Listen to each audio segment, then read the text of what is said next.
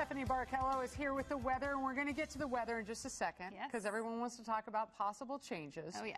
But first, we got to check in with the guys at Steinhafels for Coats for Kids. Hey, looking very Mr. Dapper, man. How's it going?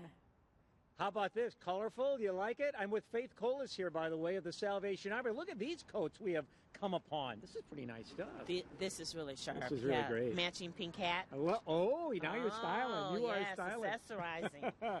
This is Coats for Kids Part 2 for 2015. And as you know, we always hold our coat drive mid September to mid October. This is sort of an extension. We're at the Steinhafels in Waukesha. And Faithe, the Salvation Army has families that need these coats. The need is always there. the need is always there. This is a good time of year. It's colder. It's Christmas. What better way to say Merry Christmas to a child but to give them a warm coat for the whole year?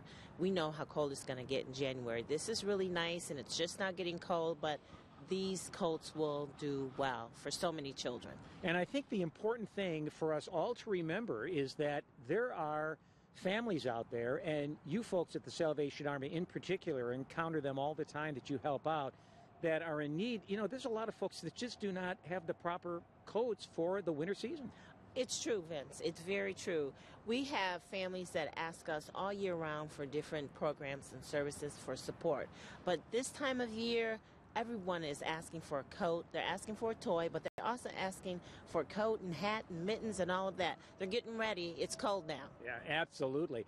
Faithe, uh, glad to have you here and the Salvation Army and the support and the Salvation and also the support of Steinhafels, which uh, has always been such a great host for us. So now behind us, and you can't really see it too well because it's getting dark, but there are a lot of cars lined up.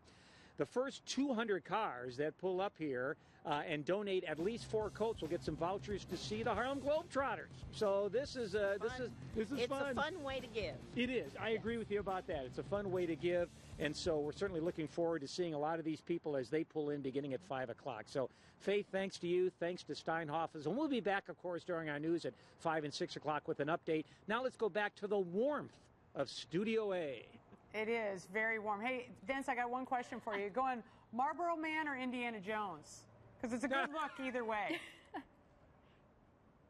I'll go with I'll go with Indiana Jones on that. Okay, good choice. I like good it. Choice. I like it. Yeah. Thanks, Vince.